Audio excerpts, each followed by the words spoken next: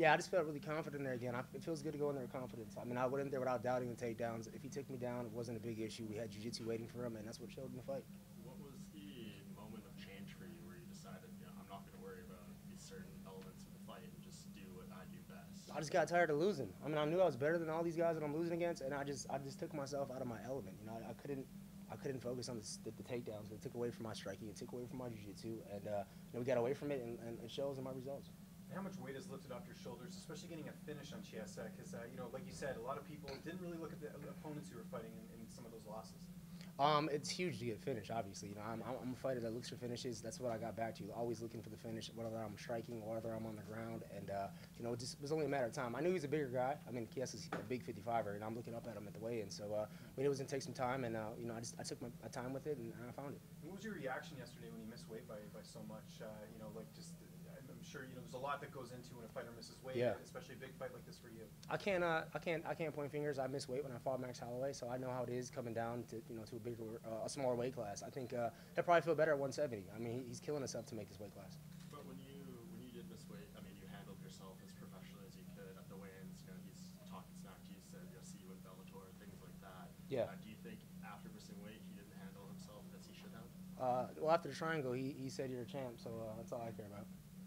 How much did Gerald Meerschaert's win last night kind of give you a boost in this fight? Because that was a great win for him coming back and finishing Oskar Piechota. Man, my team has been busting their butts this camp. I mean, I've been working since last year. I, I in a new jiu-jitsu coach, Dan Dan Borvik, another guy just to train with me on top of Daniel Wanderley. Um, so I feel like uh, my team is just strong right now. And, uh, you know, Sergio Pettis, my little bro, obviously getting a huge win. Um, so we're on fire, and I, we're just going to keep pushing. And what is next? I know this is a fresh win, but uh, when are you looking to get back in there? I, I tell everybody I'm not here to fight anybody outside of top 10. I want top five now. I mean, I got myself back in top 10. It, I was already annoyed that I was the underdog, blue corner again. I'm, I'm the former world champ two times. You know, I- I'm getting my respect back. Did any, any of your friends win any money tonight because you're the underdog? I'm not sure. I hope so. They should buy you I hope so. That should be the rule, isn't it? yeah, yeah. Does having a, sorry, does having a submission win tonight have any significance since you received your black belt today?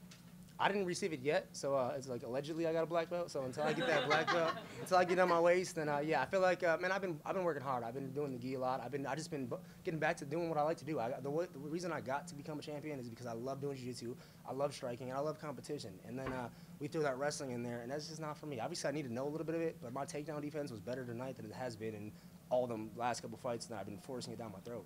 And you're the uh, you've had seven submissions from the bottom in your career, which is the most of any fighter in UFC, WEC, Strikeforce, Pride combined history. Wow, I didn't know that. Go. So do you think that earns you your black belt? Yeah, well, I think uh, my striking sets that up. And I hit him with the right hand, and he was already wobbly. You know, I, I sunk in the guillotine. He did a good job defending that, but I already had the leg on top. And the, the transition, guillotine, triangle, armbar, omoplata, and he didn't get past in the second, the second set. There's a little bit of swagger in the cage tonight, and, and it seemed like you, you look like the Anthony Pettis that we saw when you were the champion. Do you feel like that Anthony Pettis? Not not quite there. I feel like I'm right there. Uh, my striking was a little timid still. I feel like I can let loose a little more on my striking.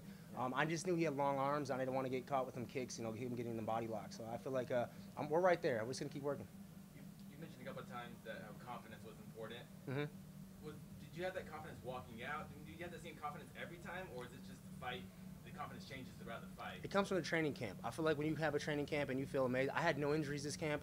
Um, when I fought Dustin Poirier, I got cut two weeks before the fight. You know, just little things like that changes your confidence. In this fight, I had no injuries. I was uh, I was ready to go in April, and then I had a, another three four months to get re- more even more ready. So no no injuries again. I'm going right back to the gym, and we'll, we'll see what comes of it. And just make sure, like, you really do enjoy the ground jiu-jitsu, especially just Yeah. as much as the striking. I love jiu-jitsu. I mean, I think I have more wins by submissions. I think he might know that, but uh, I, I have more wins by submissions than striking. But I think my striking is what my background is. That's what sets up my submissions. Um, and I got away from that. I got I got just defending double legs and whizzering, and it takes away from what I'm good at. Is there, is there any uh, opponent next that you're looking at? Any fight that maybe you're looking at in the division where you're saying, hey, I want the winner of that? Because you're the winner now. You, you know, Yeah, well, I feel like I fought everybody in this damn division already. I mean, besides like you know top top you know Khabib and Conor, I fought I beat I fought Edson, I fought Eddie. I want one of these guys. I, Eddie Alvarez, Dustin Poirier, one of them guys that I, I lost to. I want to fight that again. What about the winner of James Vick and Justin Gaethje? Does that interest you at all? Um, I don't even know what ranking they are, but it might it might interest me. Is there a situation you can see coming up right now uh, with the momentum you have up after this win? Your brother Sergio, where you guys are both UFC champions. That's the goal, man. I mean, we sat down this year, said Pettis Bros going to become world champions, and that's what we're going to do. I mean, Sergio's is on fire right now. I'm feeding from that energy, and uh, feels good, man. How many more fights do you think it'll take to get a title shot? One good, impressive victory. I mean, I just got I got to get fans behind me. That the rankings don't mean crap. I mean, it's about the fans to be behind you. Good. Thanks, guys. Appreciate it. Thank you, sir.